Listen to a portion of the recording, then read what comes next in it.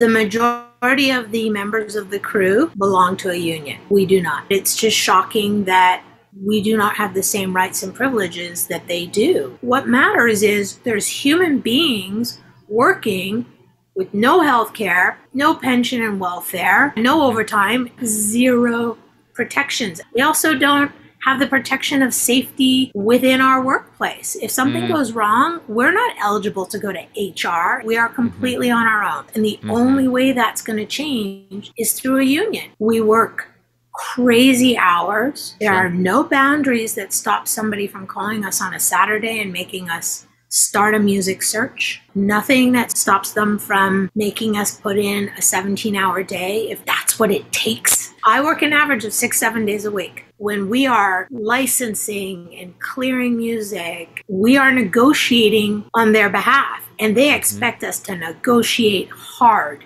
and they mm-hmm. expect us to negotiate with their best interests in mind. I'm going to turn the tables and now I'm going to do it for me. That's what 75% of the music supervisors are saying. What we do on your behalf, mm-hmm. we are now going to do for ourselves. We need this. So we're going to fight for it.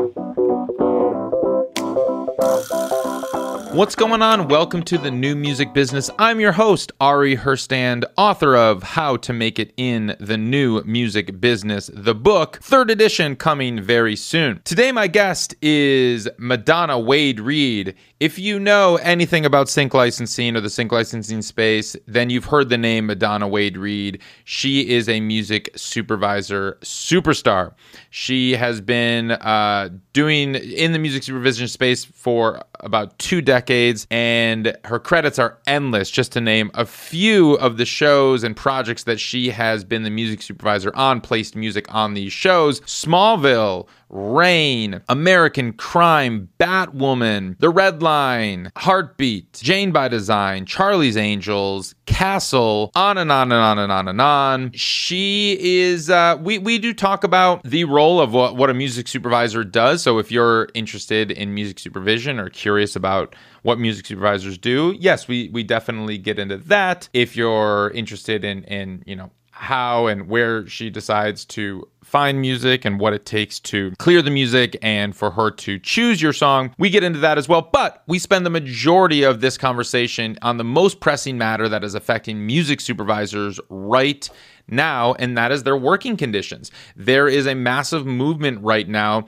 that is swelling. It has been getting a lot of press, and it is the fact that music supervisors do not maintain the same benefits, pay equity. It is the fact that music supervisors these days, it is the fact that music supervisors these days do not enjoy the same benefits that all of their other colleagues do in terms of health benefits, in terms of uh, overtime payment or or just pay equity in general, uh, healthcare and retirement plans. Um, the ability to to, negotiate uh, with employers in good faith, have the seat at the table to do that, and because they're not in a union. Now, for those of you who are not very familiar with the film industry, virtually everyone else that works in the film industry is in a union. The actors and the producers and the directors and the techs on set and the editors and um, everyone else that you go on set, virtually everybody there is in a union and has benefits, um, is paid fairly, they get health insurance, all of that. Music supervisors do not. And so the music supervisors have come together and they've said, you know what, enough is enough. We would like to join a union. A union has welcomed them in, IATSE, the IATSE union, who represent a lot of the other uh, entertainment workers. And we get into what this effort has become and why there is so much resistance to allowing music supervisors into the union. This is a very revealing episode. Uh, there's a lot of call to actions. And so if you care about music supervisors in any capacity, if you want your music placed in film, TV shows, video games, commercials, all of that, I would encourage you to follow the steps that Madonna discusses um, towards the end on what you can do to support the movement. Now, we've put a lot of those links in the show notes, so you can check them out there. You can follow us all that make the show happen at Ari's Take on Instagram, TikTok, and Twitter. You can find me at Ari Herstand on Twitter and Instagram. Please give us a five star review on Spotify and Apple Podcasts. Uh, however, you're listening to this right now, we'd love that review. I love reading the reviews. Head over to YouTube, uh, leave us a comment there if you're listening on YouTube. I love to read those comments. But uh, first, pause this and subscribe to the show. If you want us to show up in your feed, just uh, hit that subscribe or that follow button so you can hear more episodes uh, about the new music business. We do a lot. We cover a lot on sync licensing. We've had so many great, incredible music supervisors and sync agents and everything else. So if you are interested in, in sync or anything else about the new music business, hit that subscribe button and head over to aristake.com and get on the email list. That is where you're going to get the most up to date, most relevant information about the new music business in your inbox. Hit aristake.com, sign up on that email list. All right, let's kick into the show. Madonna Wade Reed, welcome to the show. Thank you. Thank you for having me. So I have to I have to start off and, and, say for as long as I've known what uh, sync licensing and music supervisors were and sync licenses, uh, I have known the name Madonna Wade Reed. Uh, there are there are there are some superstars in this industry, and you are definitely one of those superstars. So I'm very excited to talk to you today. Uh, shake your very humble. No, I you know I've seen your name uh, in the credits at the end of more TV shows than I can count. Um, you know, and it's um, and over the last you know I I man you've changed. Uh, you you brought songs into the zeitgeist into uh, pivotal moments and shows and like you know not least of which what you did with smallville and remy zero and took that song and and for 10 years running i mean that song like that changed the trajectory of that band and that song and and you've changed a lot of lives and uh, with with musicians and artists and uh, not least of which my own because you set the you set the sonic palette of One Tree Hill and when you passed off the show to Lindsay Wolfington uh, she placed my song in that show and that changed my entire life and so you know music supervision oh. and and songs and and what the work that you do and and all music supervisors it's just like it is um, something that is, I think, underappreciated and something that has really changed so many people's lives and so many artists' lives. And in, in our community, I mean, you know, there it's pretty incredible um, how musicians talk about music supervisors and just like how you're like these these um, like godlike figures that we are all just kind of like like just in disbelief of how um, you work and operate and, and just like the incredible work that you do. So, all that to start off as a big thank you. Welcome to the show. uh, nice to be here. You're welcome. Um, let me just say, you know, somebody has to be making great music for us to be great music supervisors, though there are occasions that um, people would like to overlook where our job is to actually place bad music. Mm. Mm. we don't we don't like to talk about it, but sometimes yeah. it calls for bad music. Um, hey, yeah, and that's a really hard scene description to write on paperwork. We're gonna need some bad music yeah. here, so uh, yeah. yeah you, so uh... they're gonna say this is a really cheesy song and ask the other character if they like it. Um, no, oh God, uh, yeah, yeah. I've been doing it for a long time, but I do it because I love it and. Mm.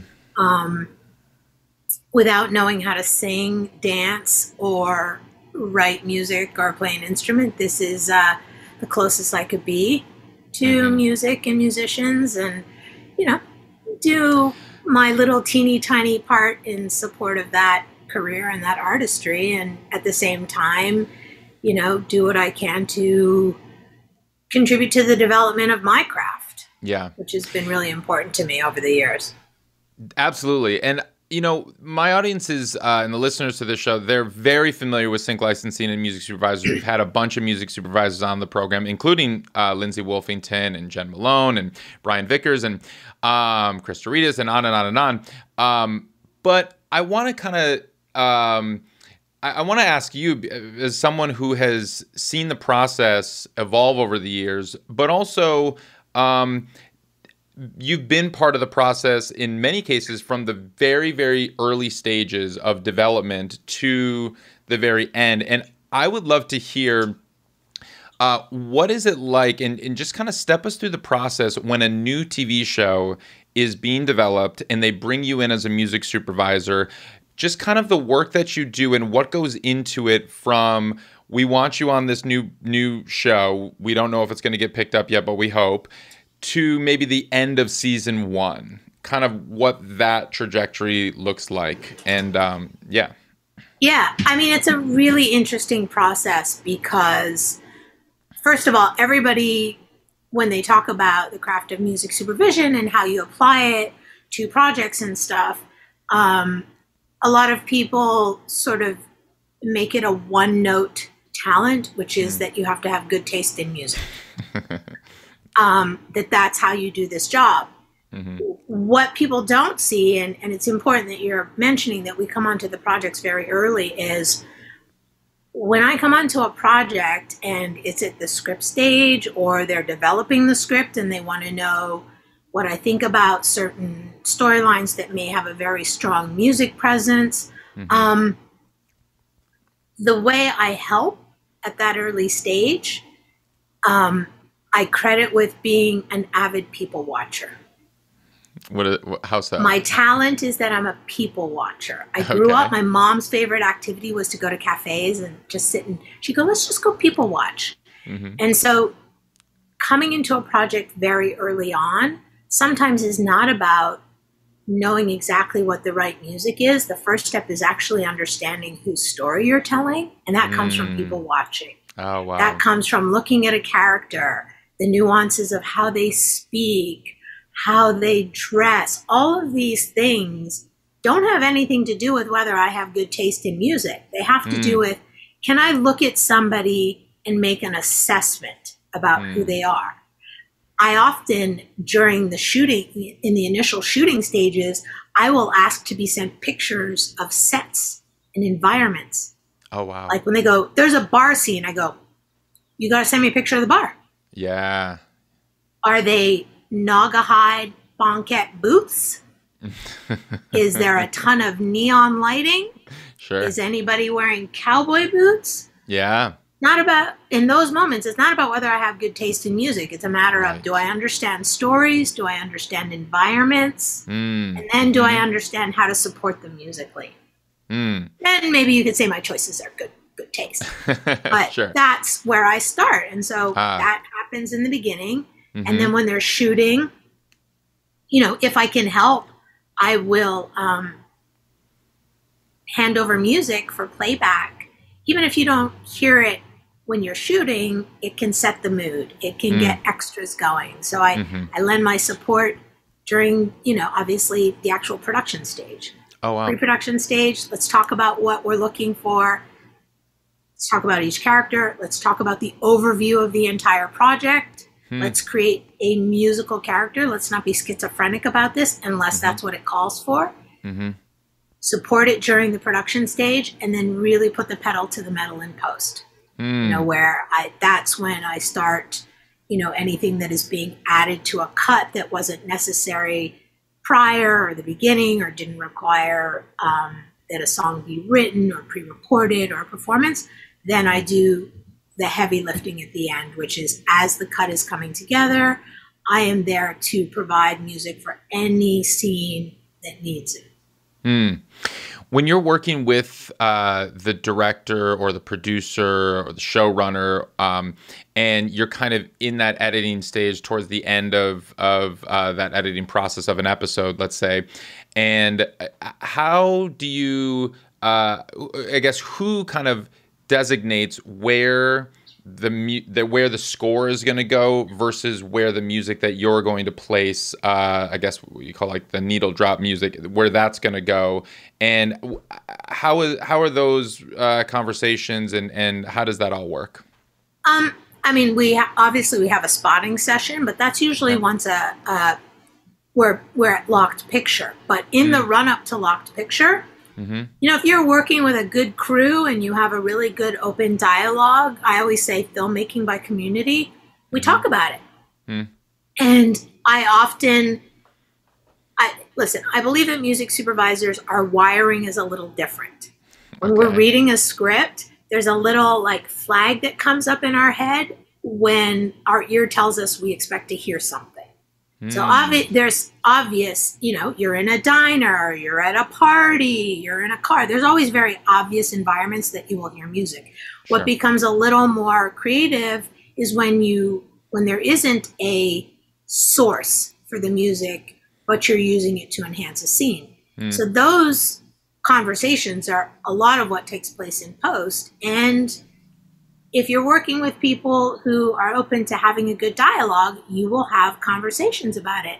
And, you know, anyone who hires me knows that if I think a scene that I'm watching is dry or maybe has a piece of score in it, but could benefit and be more successful with a song, oh, I'll mention it.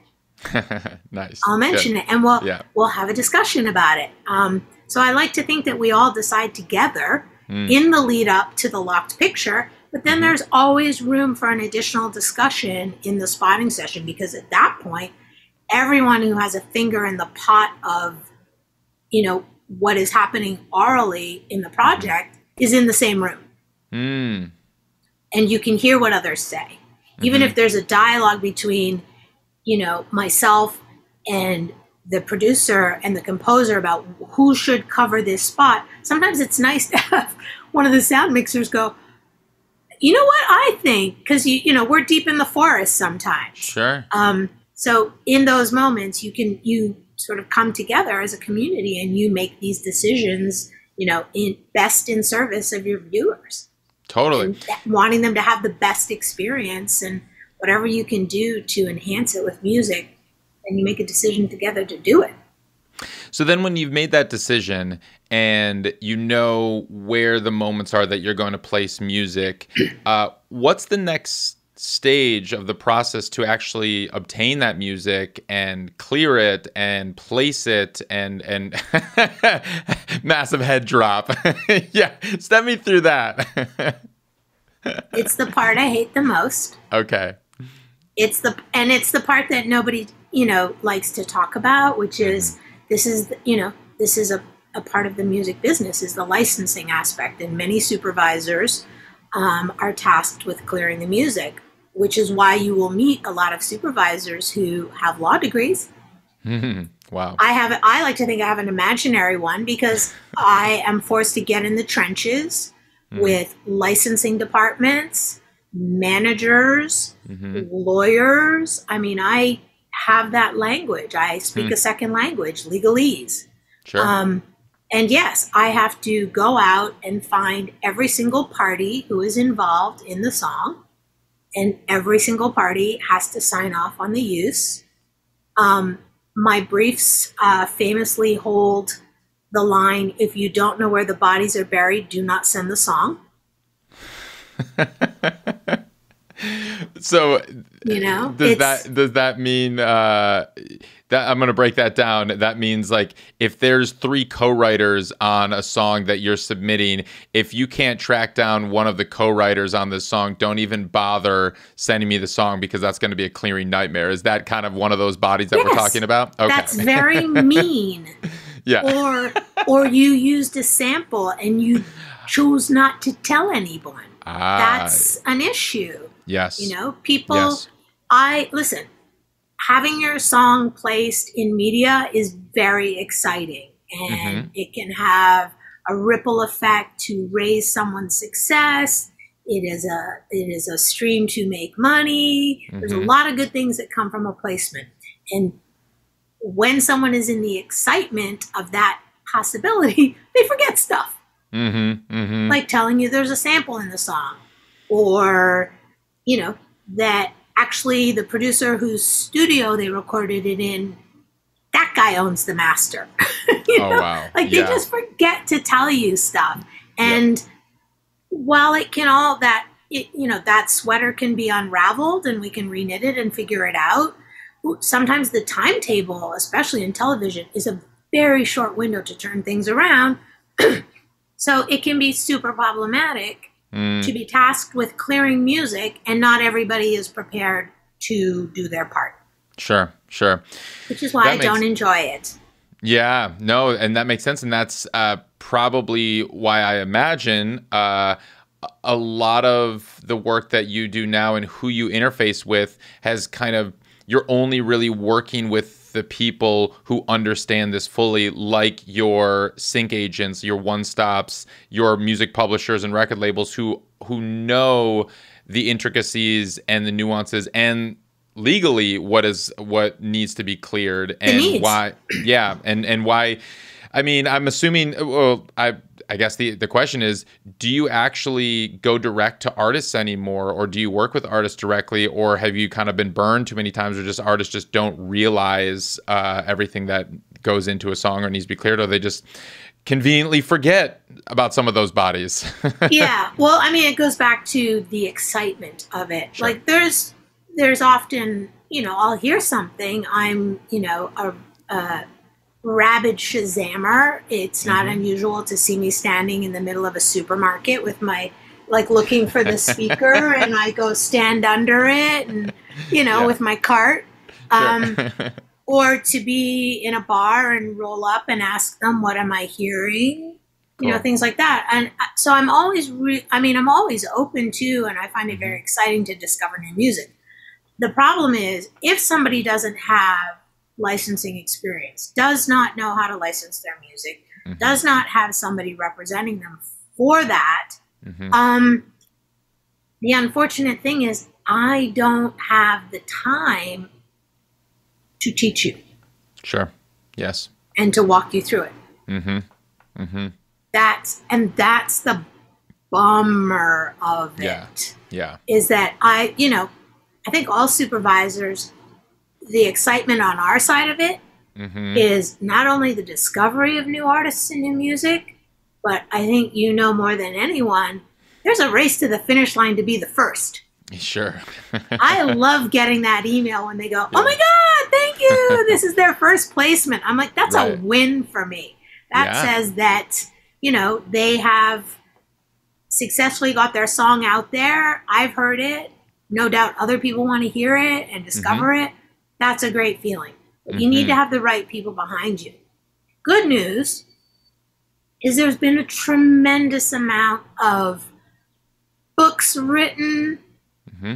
podcasts, mm-hmm. panels given by organizations. There's a million different ways if someone is serious. And let me stress that.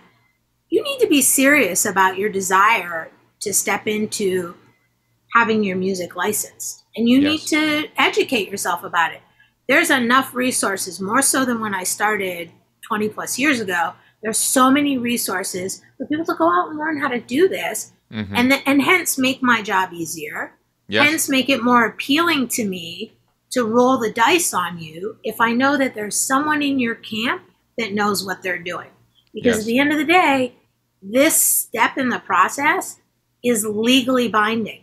Mm. And if something goes wrong, the person whose name is on the paperwork is mine. Mm. I had a project I did two years ago and I cleared a song. I had assurances by pretty reliable people that they controlled the song. I licensed it, it got papered, everyone got paid, it aired. Then I got an email saying that song has my writer on it. Uh oh. And I had never done this in my career. I had to go back and tell the other folks, you need to give me some of that money back. oh, wow. Send it back to you need to write a check and send it to the studio. Yeah. We need to reconfigure your splits, taking into consideration this third writer that you didn't know about. right. Wow you need to tell any of your other publishers and writers that their their shares are going to be reduced. I mean, I had to go through all of this. Knock wood, the person who came to me and said, My writer is on that song, I knew to be a legitimate source to be saying that to me, and mm-hmm. thankfully knew and respected me enough to know that I would never do that on purpose, sure. that I had not been given the correct information, and I was able to rectify it without any legalities or whatever. We just yeah. went back, redid it, got a bit of a refund, redirected the money.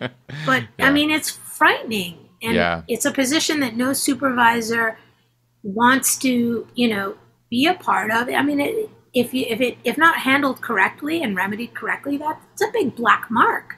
Yeah, you become a yeah. risky hire. Sure.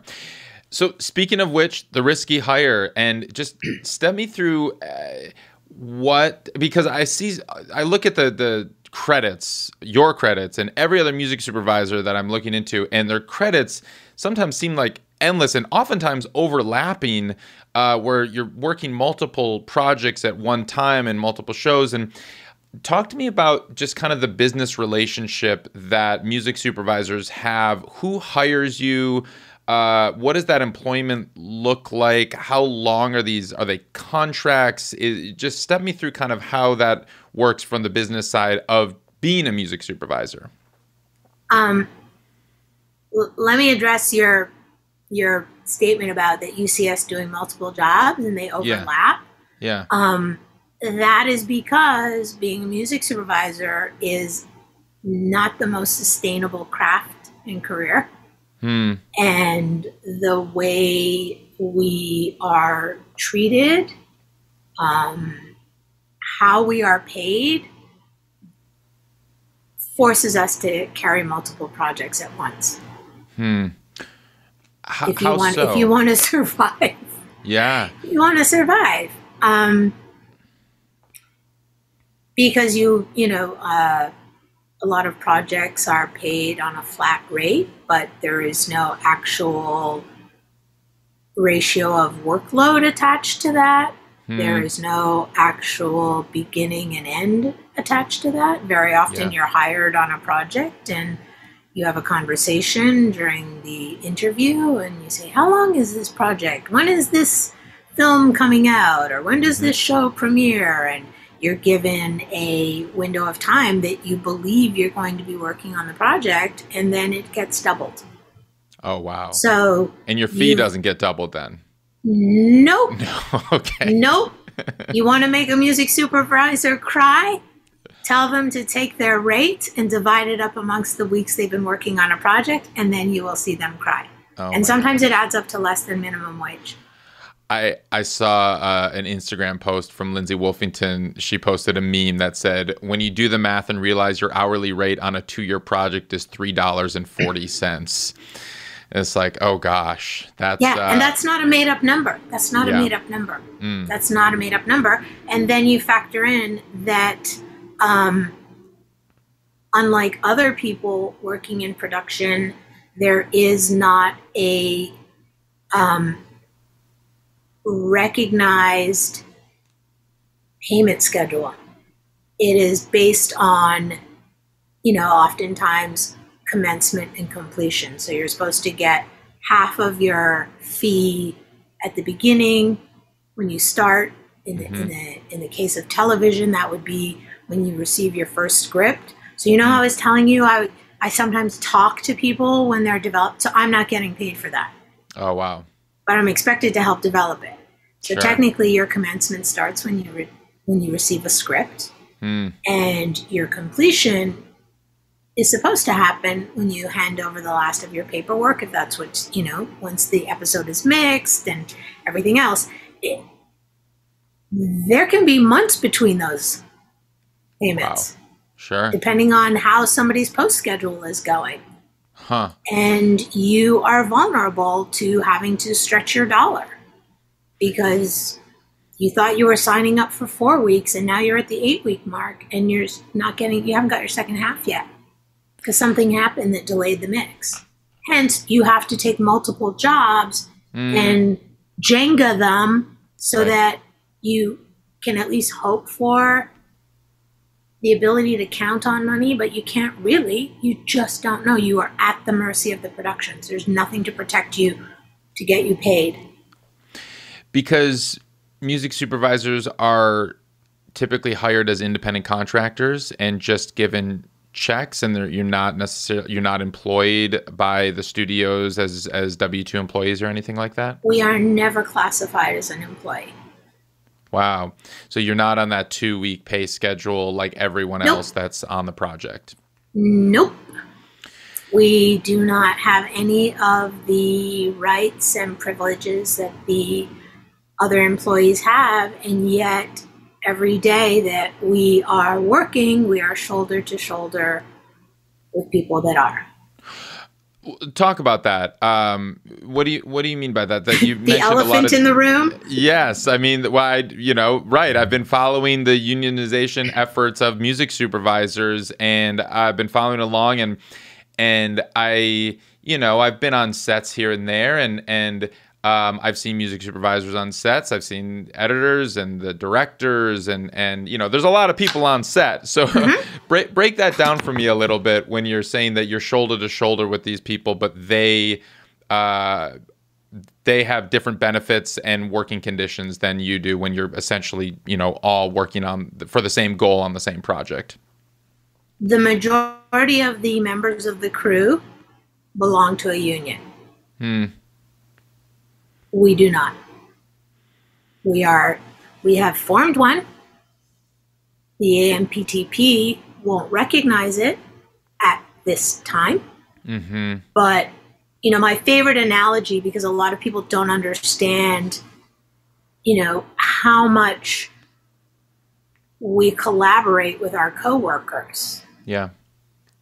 How we are a part of the overall storytelling process. Sure.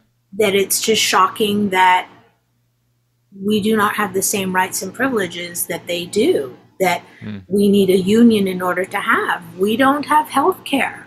We mm. don't have pension and welfare. And you better believe anybody who has to work multiple jobs at the same time, do mm-hmm. you think that people who have to work three and four jobs at a time can actually skim money off what they're making to set up their own pension right. and savings for retirement. We don't right. have those things. We also don't have the protection of safety within our workplace. If something mm. goes wrong, we're not eligible to go to HR and say anything about it. We are completely mm-hmm. on our own. Mm. So I tip my hat with the utmost respect. The analogy that I use, which people find really shocking when I talk about the need for supervisors to be recognized, to be an equal union member to the other people that work on set and in production alongside mm-hmm. us is I often say to people, you know, when you're on set and you go up to craft service and you ask for a banana and a bottle of water, and they go, yeah, I go, that guy's in the union. Wow. Yeah. That guy's yeah. in the union. That girl's in the union. They're right. in the they have they the person with the banana and the water has more protections than you. Wow. That seems mind boggling to me. Mind yes. boggling to me. Mm-hmm. When we are working so hard, we work crazy hours. There sure. are no boundaries that stop somebody from calling us on a Saturday and making us start a music search. Hmm. There is, you know, nothing that stops us, stops them from you know, making us put in a 17 hour day if if that's what it takes. Right, right. Mm. But if you make the person with the banana and the water work 17 hours, you better believe after a certain hour, they're getting overtime. Mm-hmm. We don't get overtime. Yeah. I work an average of six, seven days a week. Wow. Oh my God. Because that's what it takes to do the work. Sure. Mm. So you, I know that the efforts are to um, have music supervisors unionize, and I've seen that that around seventy five percent of like 500 uh, listed music supervisors have actually signed cards saying that they would like to join a union. And the uh, IATSE union, which which represents a lot of entertainment mm-hmm. workers, um, and a lot of your colleagues that you're shoulder to shoulder with, the IATSE union, um, has welcomed music supervisors into yeah. their union. So, what's the problem? You mentioned something about the AMPTP, the Alliance of Motion Picture and Television Producers, not recognizing those efforts. I don't quite understand. Uh, if if IATSE is welcoming you into the union, why aren't you? Why aren't music supervisors now union members? You should ask the AMPTP that. I will. I was on their LinkedIn I mean, before this. I'm like, who are the people that I need to start emailing yeah, and asking them what's going on? Yeah, okay. Whose house can I camp outside? right, um, right. Listen, I, there is, you know, it, it's a control issue. Hmm. It's, mm. you know, they there's there's things that will come with that recognition that they don't appear to be prepared to do. Mm. And you know, why would why would you agree to this when you could make us work 17 hours and not pay us overtime? Right. You know, there's there's, you know, obviously recognizing and reclassifying us will have a a a financial bump for them because sure. now we're paying, you know, we would be paying into pension and welfare. There would be payments made towards healthcare, all of those things. There would be those payments that allow us to get unemployment. Mm-hmm. Mm-hmm. Sure. All of these things. And I'm, I'm sure at a bare minimum, they don't want to agree to the financial, you know, ripple effect that that would cause. But it, that doesn't matter. What matters is there's human beings working with no health care, mm-hmm. no no pension and welfare, mm-hmm. no no, no one's yeah no overtime, no safety no protocols. yeah. Right, right. Zero so, zero protections, and the mm-hmm. only way that's going to change is through a union.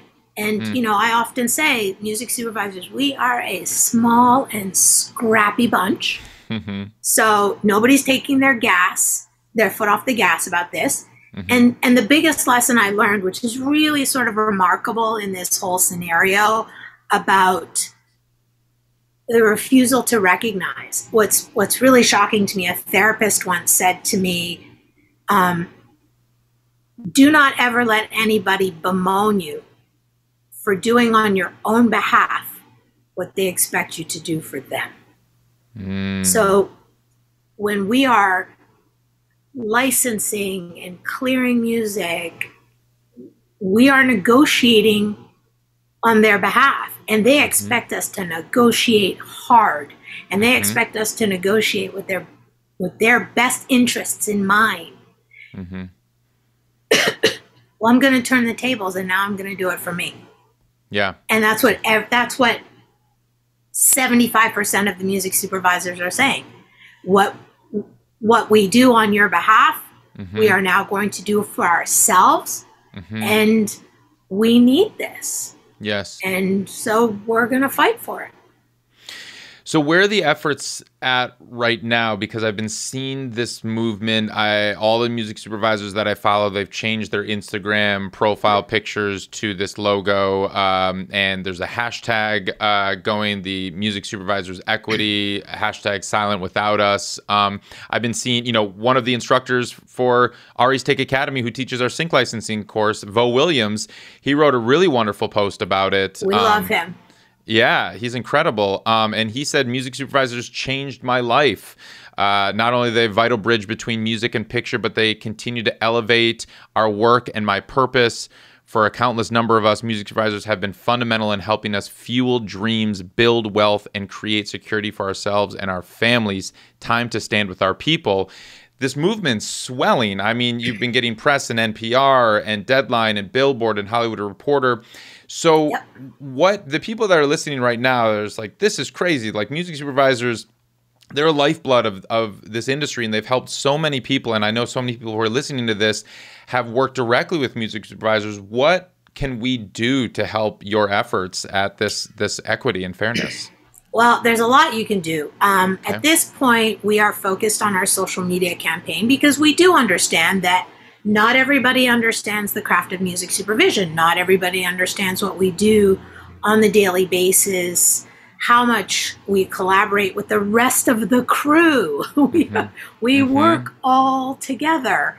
Um, and so part of it is it, it's twofold. We are trying to educate people about what we do so that on the other half, they can support us when they see what we're doing and they see that we're doing it alongside a group of people who are protected and have all of these things that most people should have.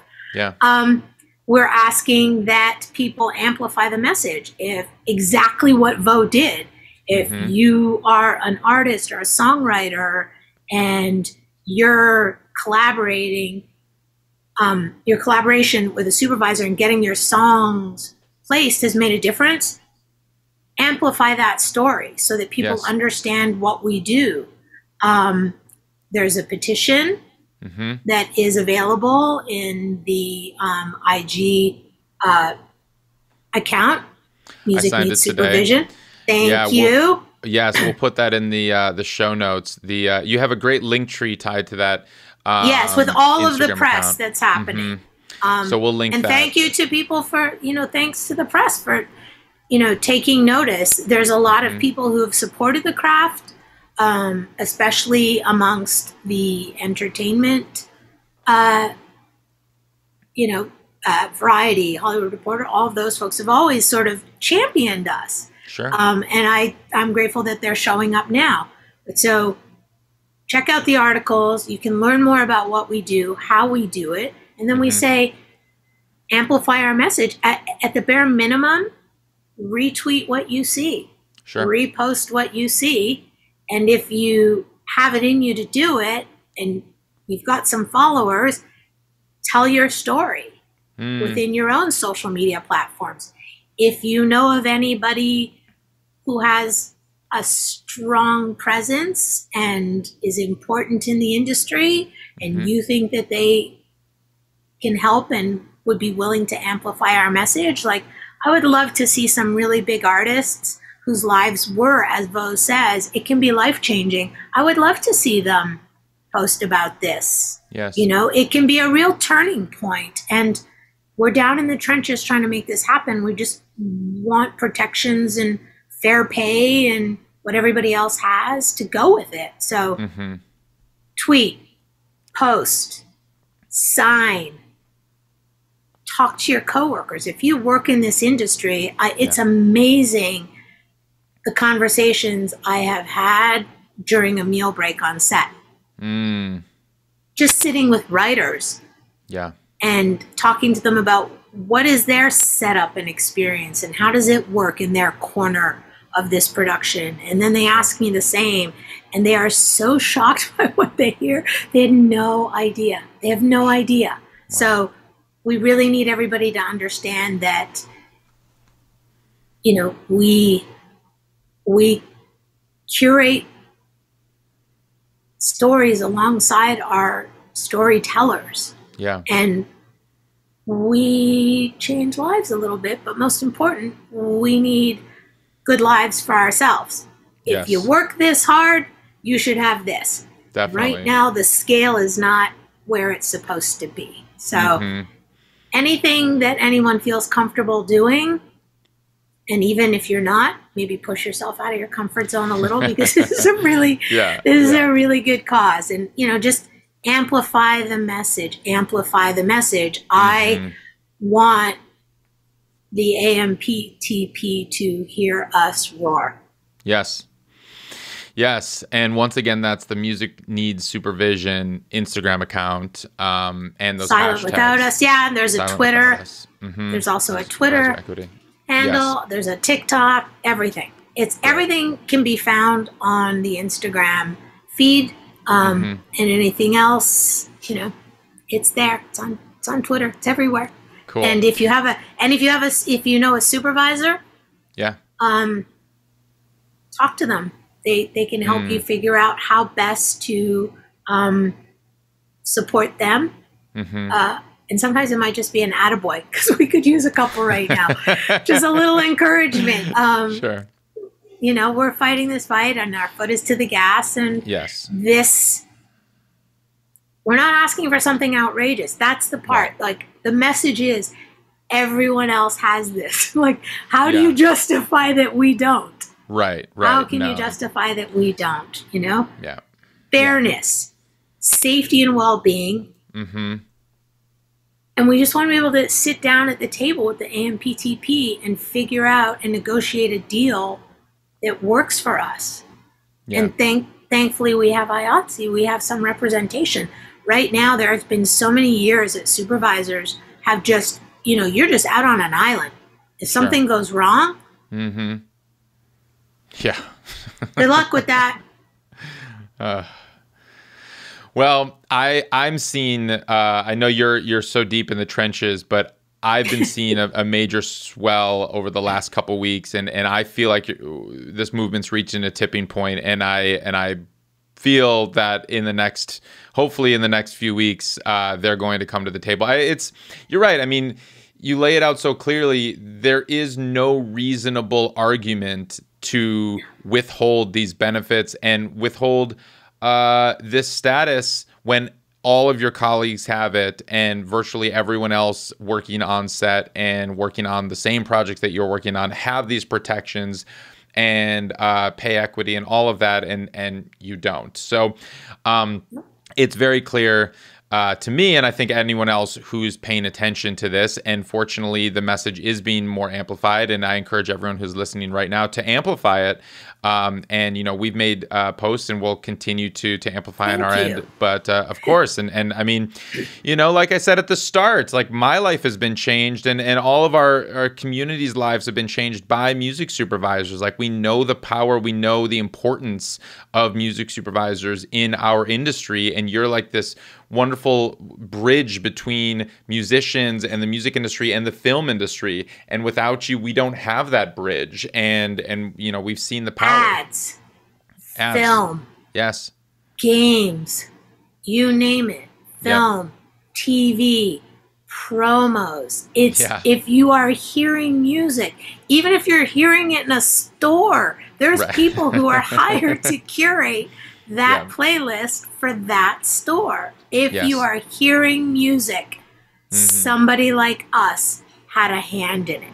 Yes. You know, definitely. and the, the hardest, most heartbreaking, I get so emotional about this. The worst part about this is because our craft has become so unsustainable at times because we don't have these things. I have seen so many talented people enter the field and leave. Mm. I have seen people get burnt out by the grind that we are forced to sustain with, you know, there's no there's nothing that says we deserve a certain meal break. No. Mm. We can be made mm. to work all day every hmm. day. Um and that's heartbreaking to me is that it's so unsustainable that these you know brilliant young music loving people who discover that there's a craft that they can put to use their love of music, it'll die without more protections and things in place because it is not sustainable. Like, nobody should have to work three jobs. Do you know what a supervisor would give to be able to just be on one project? In one project alone and not yeah. wake up every day feeling like they got shot out of a cannon because they got three jobs on the go because oh, that's gosh. what they need because they don't know when they're going to get paid so you mm-hmm. need to mm-hmm. have all three jobs going and yeah. hopefully everything comes in on time when you have a rent or a mortgage payment you know looking at you know it was i you know i've said this before it was absolutely terrifying and i think one of the times that people really realized how what little protection we had was when the pandemic hit. Mm. And, you know, we, because of our pay structure, we technically were not eligible for unemployment. We were not eligible for unemployment. Can you right. imagine that? Yeah, I mean, a lot of musicians fell into that that boat as well, um, because a lot of musicians were, were contractors and stuff like that, and, and but everyone who was uh, an employee got those those um, unemployment benefits. Yeah. Yeah, thanks to the CARES Act, it was done, and right. you know because for many production shut down, and there yeah. was no no source of income for many, and as I said, if you're working three jobs at a time, the chances that you have a good nest egg are very mm-hmm. slim. Right. Um, and it was just frightening to see that and to feel such a deep concern for our, you know, one another, who was going to be okay, who was not. We were all mm-hmm. reaching out to each other. Does mm-hmm. anybody need anything? Like whatever we could do. And thank goodness, you know, the CARES Act passed and we were able to get unemployment. The the mm-hmm. the shocking shocking thing about it was for many people was the first time they got a regular check. Oh gosh. right. Right. Right. Yeah. Like yeah. not very many people know what it feels like to get a check every two weeks, I think yeah. it is. Um, people had to learn how to fill out those forms because it had never been available to them. Yeah. Right? right. Shocking. Yeah. And because there was a regular check, you could do the math and for some based on the time frame and the amount the hourly wage was better than when they worked full time. Mm, and wow. to me, that's a bit obscene. Yeah. Talk to me about the pay um, differences because I, I, I remember uh, hearing or reading something that you said about um, you had kind of tracked uh, what you made, you know, in 2006 on a project versus what you made now. Um, in you know, t- tell me about that. Yeah, but, well, I did a little. I'm just a nerd for spreadsheets. I love a good Excel sheet, and yeah. it's really I just because of the way my brain is wired, and also which applies to how I do my job. Sure. Um, you know, spreadsheets are a great way to organize and track track your licensing, track your budgets, like everything that you have to do in your job. So sure. it is a tool. And um, somebody had asked me a question about, you know, what we were, what we got paid. And by the way, we all get paid something different, which is also a problem because mm-hmm if you're if everyone's doing the same amount of work like how come you're getting less? Or yeah. yes maybe you get more because you have more experience and it's a heavier lift but that doesn't always that doesn't really exist. We need mm-hmm. some sort of pay scale thing put into place. But somebody had asked me something about you know my rate. And so i've been doing this 20 plus years and so i went through a whole folder i have of with the exception of when my computer got stolen, I have every deal memo I've signed probably since 2004, 2006. And wow. so I plugged in my rate in 2006. And then I saw that I had this rate for a few years. And then for some reason, uh, the studio dropped it down a bit on a job. Oh. Then it went back to what it was in 2006 and I did the math. So in so 16 years, right? The mm-hmm. math. And I looked at the rate that this same studio was offering me in 2022, and it was about a four to six hundred dollar difference. And I just thought to myself, like, if I worked in a bank for 16 years, would my salary only have gone up that much? Right. Right. Wow. Any other job? It, it adds even... up to. It adds up. Here's the here's here's the number crunch for you. Sure. It adds up to, I think, less than a two percent raise, raise over, over those years. years. This is I'm talking about a per episode. You know, mm-hmm. in television, it, it it was less than two percent, mm. which was kind of heartbreaking. Just like once I'd done it, I was like, oh, that's really that I'm looking at it and it's there. I'm not yeah. imagining, I'm not guessing. Like yeah. my hard numbers were in front of me and it was just so mm. disheartening to know that like all these years like there hasn't been a support system in place sure. to ensure that what you're being paid meets the cost of living in some way shape or form matches inflation. Like, right. Right our right. rates have been held down. Mm, hmm Well, I, I, um, I'm a, I'm a perpetual optimist, and I see the, I see the the work and the movement that's happening right now, and I believe that things are going to be changing very soon for all music supervisors for the better. And but it is because of the work that you're doing and everyone else is doing, and because of the visibility, and it's it's about damn time. Uh, yeah. I think you know it's. We're not like, going anywhere. FY, we're not going right. anywhere. right, okay? I mean, you're very this is, necessary to this industry. This is this is this is ten years in the making and mm-hmm. longer. Mm. If you look back at the people who've been supervising for twenty and thirty years, sure. but this and this talk has been going on the whole time. So mm-hmm. the fact that we are actually at a place where it's out in the public. Everyone knows about it. There has been a formal ask. Um, we're a scrappy bunch. We're not going That's right. anywhere. That's we're right. not going anywhere. I am Well- in this. I am in this for the long haul. yeah. Um, I refuse to let this craft be destroyed. I Mm. refuse to let it remain unsustainable, unrewarding, unsafe. Mhm. Um, I'm not going to be doing it forever, but I Mhm. would like to see some other people doing it. And Sure. that's not going to be possible unless these changes get implemented. Mhm. So Absolutely. get used to this face. It is not going anywhere. I am I Love am it. in this fight till the end. I love it. and uh, there's a there's a large group of people who are also you know putting Mhm. in the work and again anybody who can help spread the word amplify the message Mm-hmm. talk to people if you think there's people out there who don't understand why this is happening and are just writing it off like nah it's a money grab or something dumb it's not it's about people's right to have a safe workplace be paid fairly Yes. have protections. Mm-hmm.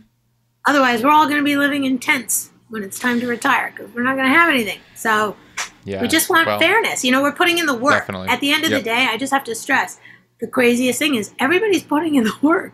Right. We're Right. working for this. You're we're not asking for something we don't deserve. We're putting in the work. Definitely. People are profiting off it. Yes. You do great. You put great music in a Mhm. film. It has a successful soundtrack. Yep. Yep. Yep. Who do you attribute that to? Yeah. Well, Madonna, this has been so informative and helpful, and uh, I think you know, I, I know everyone listening right now is revved up for the cause and ready to go and and to to join in the fight and make sure that you get the um, to get all the benefits and equity uh, across the board that you deserve. Um, I have one final in the recognition, Recognition. absolutely yes, and the respect. Um, I have one final question that I ask everyone who comes on the show, and that's uh, what does it mean to you to make it in the new music business? What is the new music business? I thought I was just stuck in the old broken one. Did I say that out loud? Yeah. Uh There is actually listen. There is a new there is a new music business. I have to tell you. Um, it it was it's a bit of a it was a bit of a game changer with the introduction of all of the different streaming platforms and different ways that music can be discovered. Sure. and you know i think i think you can make it a lot easier these days because of that because Mm. you do not require to be signed to a major right. or even an indie to have a successful career as a musician as an artist in this business anymore so Mhm. I'm sure it means a lot to the musicians that you're not all chasing the same shiny ball and thinking that's the only way this is going to work. I love that there are a million different ponds for you guys to swim in to have and achieve success. And the ripple effect is the new music business means I have more to choose from, Mm, sometimes less people to tangle with to Yeah. have it. Um, and at the end of the day, you know, I I I'm just here to cheer on and support musicians. I'm so in admiration of the craft of creating music and my job lets me show that admiration and again like give you some gas money for your van when you're on Yeah. tour. So yeah. the greatest thing about that um, is that there aren't as many gatekeepers and i love music and i will never turn down having a good juicy talk about music and what we're listening to with a musician. And all of this new music business lets me get a lot closer to it Yeah. and you know feeds my little nerdy part of like i don't just want to listen to a song. I want to know why you wrote the song. What was Mm. behind the song? Where'd you record the song and those things are available to me now that is the good thing about the new music business Yeah. is i think we're all benefiting from it if you love music and you want more access It's Yes. provided a lot more access and it's Mm. made it easier for me to find people and find songs and find music I like. Nice. Just need to learn how to go out and license it. Right.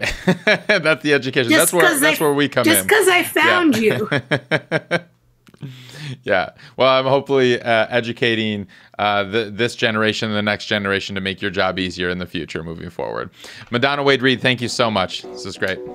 Thank you, Ari. I, thanks for giving me uh, time to chat with you and catch up.